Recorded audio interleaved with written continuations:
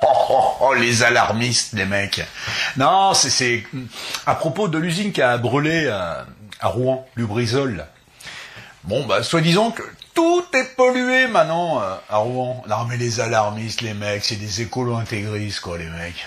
Oh, oh, soi-disant que même l'eau du robinet, tu vois, elle serait polluée. On se demande, le rappeur, tu vois, il y a une usine qui crame, tu vois, et l'eau du robinet serait polluée. Je, je vois, les, les mecs, non, mais ils sont complètement, euh, c'est des intégristes, c'est des alarmistes. Bon, bah là, je suis à Rouen. Hein, dans ma cuisine. Hein.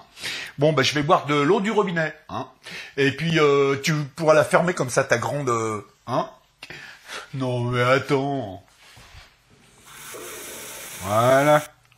Oula. Bande de charlatans, va.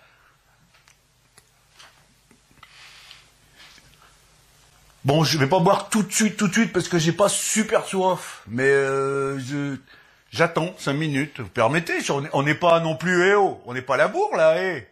Pas de pression, s'il vous plaît. Je vais le boire mon verre d'eau euh, lim- limpide. Tiens, je vais, le boire là-bas. Je bois où je veux quand même. On est en République, non? On est en démocratie. Si j'ai envie de le boire là-bas, je le bois là-bas. Attends. Oh putain, mais c'est quoi cette merde? Bon, ok, je l'ai pas bu.